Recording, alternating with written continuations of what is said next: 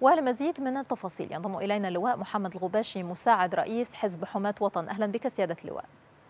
أهلا بحضرتك وبكل المشاهدين.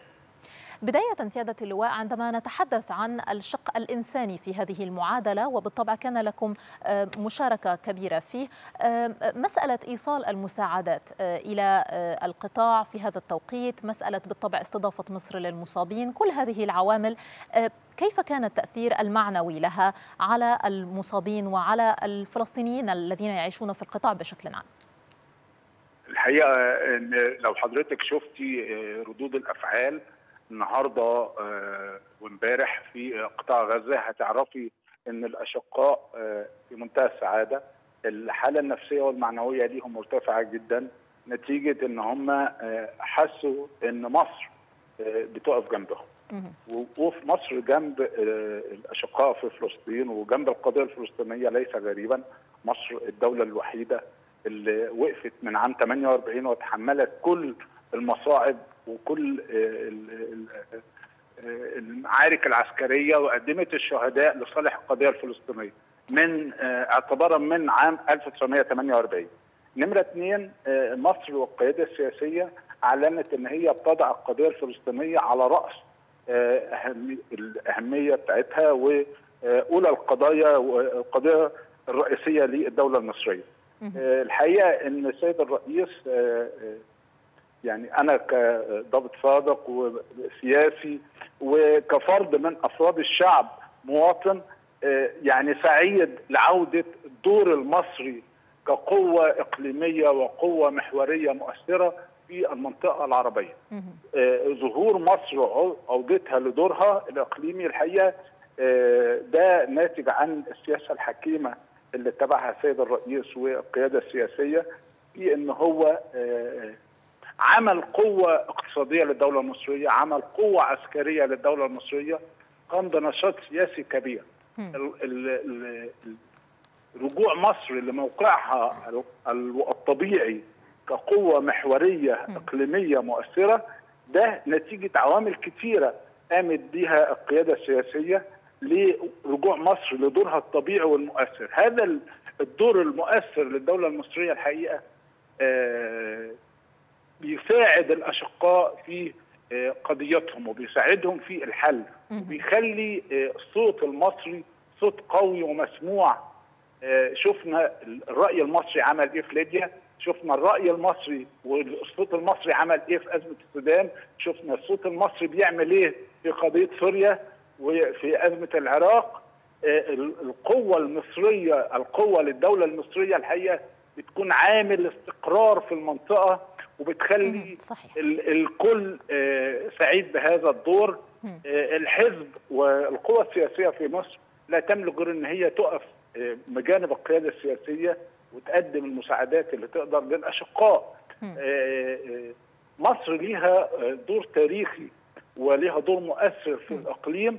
الحقيقة كان تأثر لبعض الفترات ولكن بنجاح القيادة السياسية. فعودتنا للمكان الطبيعي بتاعنا الكل سعيد سواء في المنطقة العربية أو الأشقاء في فلسطين اللي يعني السوشيال ميديا جايبة فيديوهات النهارده الصبح وهم وأول صلاة فجر للأشقاء في المسجد الأقصى بعد وقف إطلاق النار.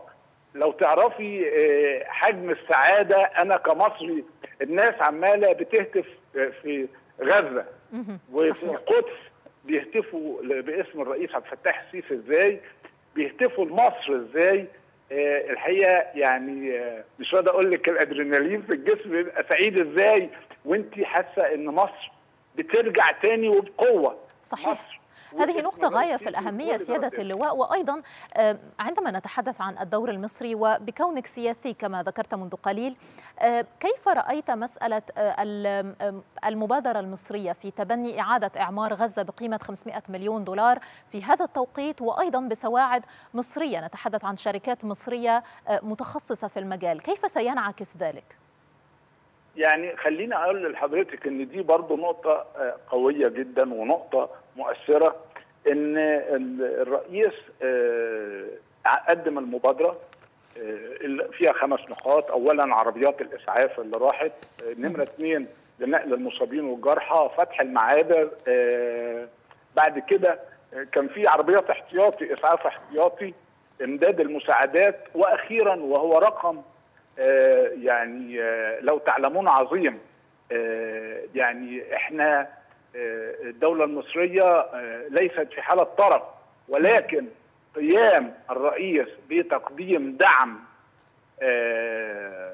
500 مليون دولار وبواسطة الشركات والايادي المصرية هذا أمر شديد الأهمية وشديد للأشقاء لأنه هيخلي البنية الأساسية والبنية التحتية وعملية إعادة الإعمار تتم بشكل جدي وليس بالأشكال أو بالصور اللي مرت المرات السابقة اللي كانت بعض الدول بتعلن عن مساعدات ولا, ولا يتم إيصالها أو عندما تصل لا تصل إلى المستفيدين الحقيقيين. ولكن إن الشركات المصرية تقوم هي بالإعمار بإعادة الإعمار ولصالح المواطن الفلسطيني المتضرر فهذا شيء محمود. وباكد على حضرتك وكل المصريين يفرحوا وكل المصريين يحسوا بالفخر إن الأشقاء في فلسطين فاهمين كويس.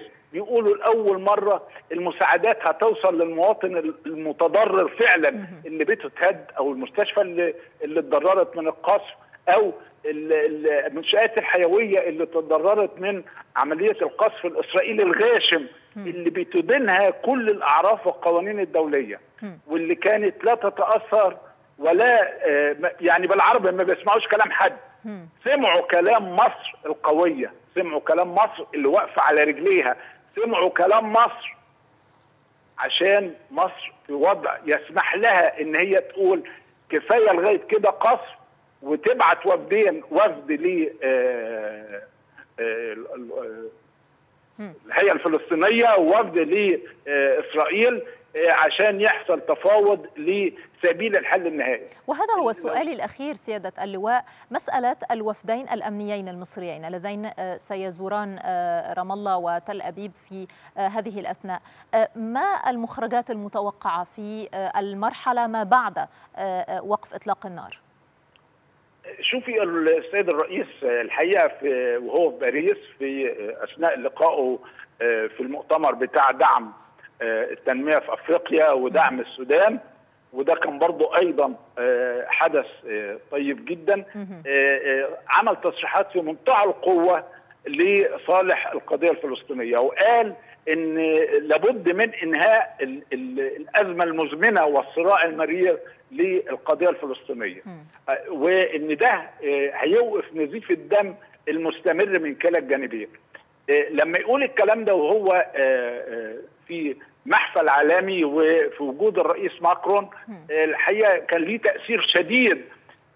وبالتالي تم التوافق على إرسال وفدين أمنيين واحد هيروح للسلطة الفلسطينية في رام الله وواحد هيروح لتل أبيب عشان نحاول نوجد بنود للاتفاق وتكون في صالح جميع الأطراف.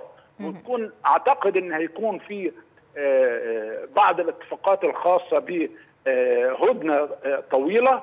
الرئيس تحدث أيضا عن إقامة حل عن حل إقامة دولة فلسطينية مستقلة. الرئيس تحدث عن كامل الحقوق للأشقاء في فلسطين والأشقاء أيضا يسمنوا هذه التصريحات وبيعتبروا إن دي أول مرة يتم فيها تصريحات حقيقية قابلة للتنفيذ وليست تصريحات الميكروفونات اللي كانت بتصدر قبل كده.